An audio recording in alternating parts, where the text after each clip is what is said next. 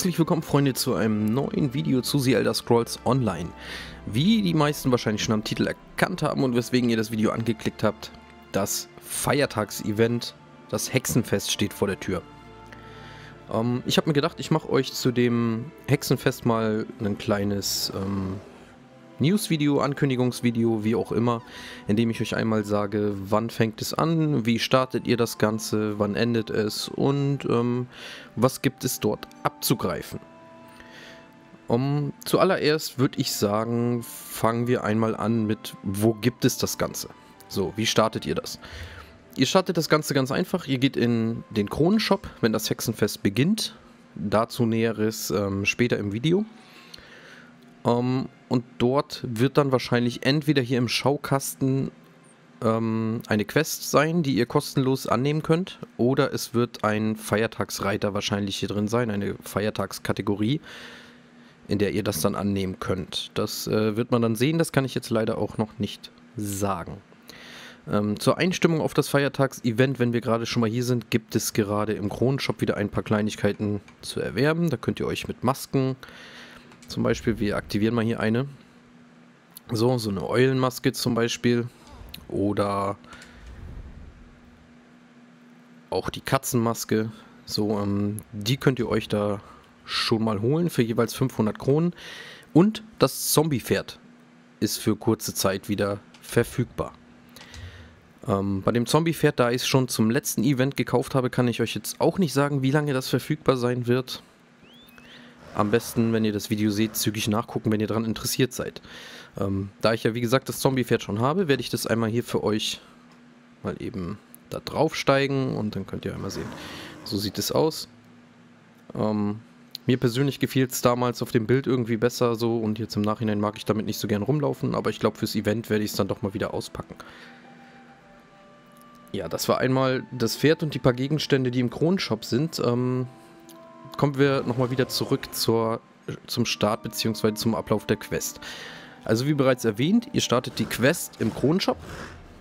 Da erwerbt ihr sie da, ähm, für 0 Kronen, startet sie und dann ähm, müsst ihr eine kleine Questreihe machen. Ihr müsst, glaube ich, einen Kürbis und ein paar Innereien und ähm, noch irgendwas müsst ihr, glaube ich, abliefern und so weiter.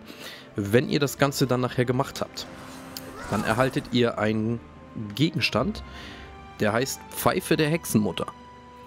Die Pfeife der Hexenmutter habt ihr vielleicht auch schon, wenn ihr das letzte Event gemacht habt und braucht dann diese Quest nicht nochmal machen, so wie in meinem Fall jetzt. Die könnt ihr dann aktivieren. Das ist im Menü bei euren Andenken zu finden. So, und dann kommen hier so ein paar Raben und dieser Kessel hier erscheint. Aus diesem Kessel könnt ihr dann einmal trinken, wupp, rein damit.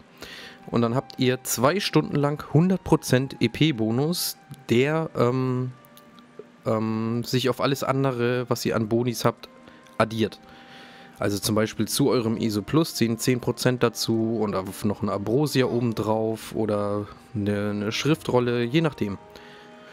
So, wenn ihr dann noch erfrischt dazu seid, so, dann habt ihr auf jeden Fall einen mega XP-Boost, der, der es in sich hat. So perfekt, um mal einen neuen Charakter hochzuziehen zum Beispiel.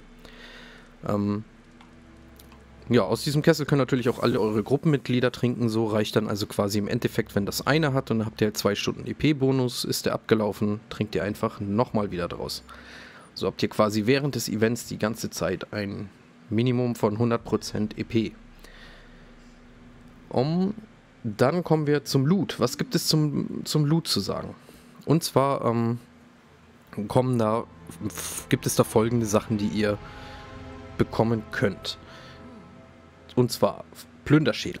Die Plünderschädel bekommt ihr von mächtigen Gegnern in Gewölben, Gruppenverliese, öffentliche Verliese, Prüfungen, Arenen oder auch bei dunklen Ankern.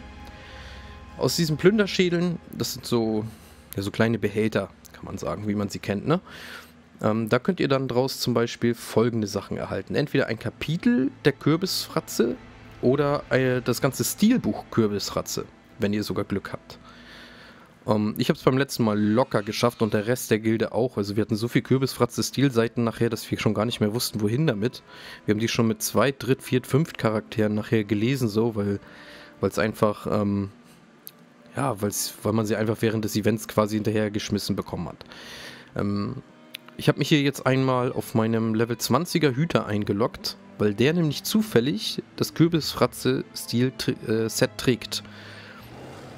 Äh, einfacher Grund, das war halt das, was ich mir halt zum Leveln gemacht habe, so weil ich halt am meisten Stilmaterial davon hatte, so.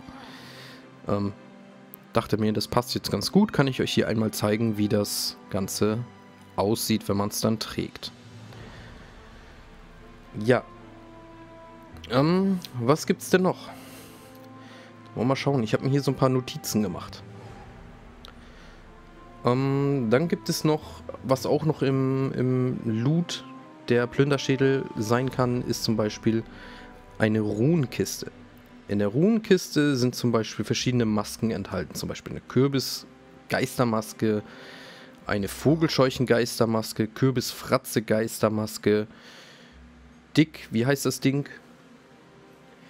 Dickicht-Geistermaske, was auch immer das sein soll, ähm, verschiedene Rezepte zum Hexenfest, zum letzten Hexenfest hatte ich zum Beispiel, das ist jetzt aber leider auf einem anderen Charakter, hatte ich zum Beispiel ähm, ein Rezept bekommen, was zum Beispiel die maximale, ich glaube, das heißt Gebräu der Hexenmutter oder sowas. Ich bin mir gerade nicht ganz sicher.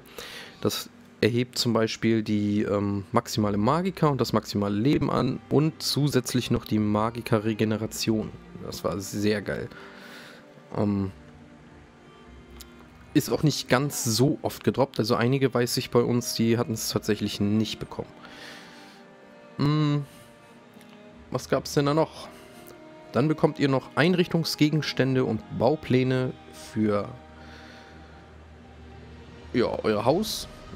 Ähm, Stilmaterialien für die Kürbisfratze, Handwerksstile natürlich und eine Auswahl gruseliger Gegenstände wie Würmern, Krabbeltieren, Innereien und anderen Kleinigkeiten.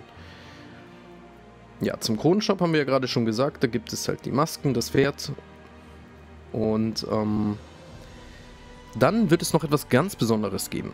So, und zwar da freue ich mich ein bisschen drauf. Und zwar werdet ihr während des Events eine Hütte, die ich euch hier gleich einblende, ähm, kaufen können für Spielgold so wie es da stand.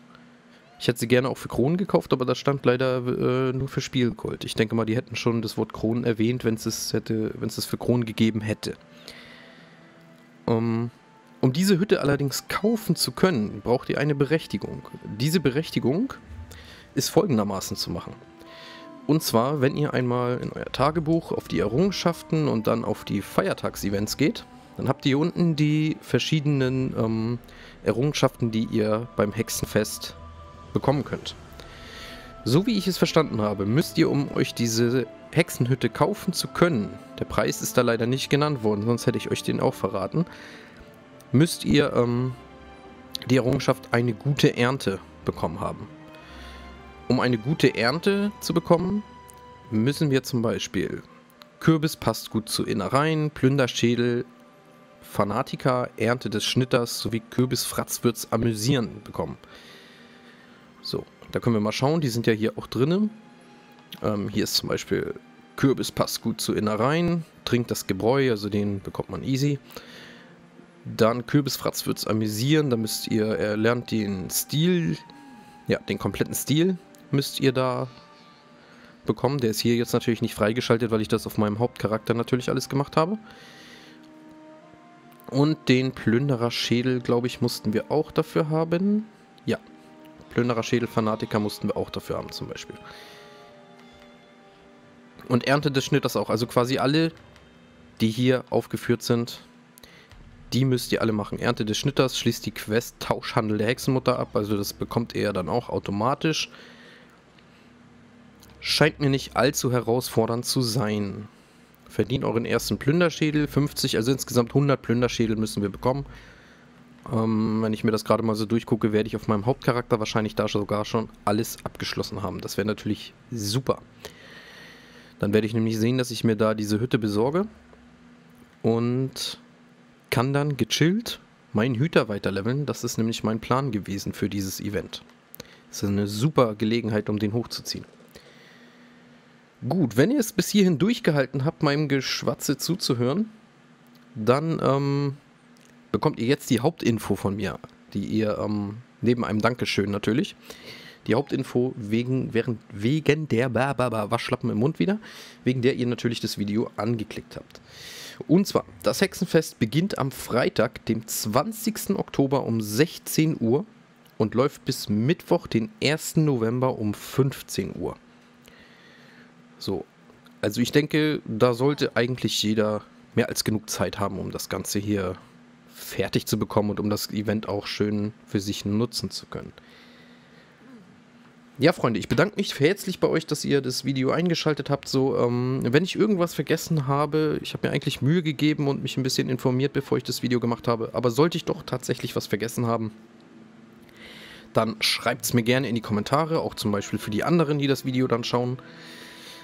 Und ja, das war's von meiner Seite. Daumen nach oben, wisst ihr Daumen runter, meinetwegen auch. Äh, immer gerne alles, was euer Herz begehrt, in die Kommentare, ganz wichtig. Und bis zum nächsten Mal. Haut rein. Peace.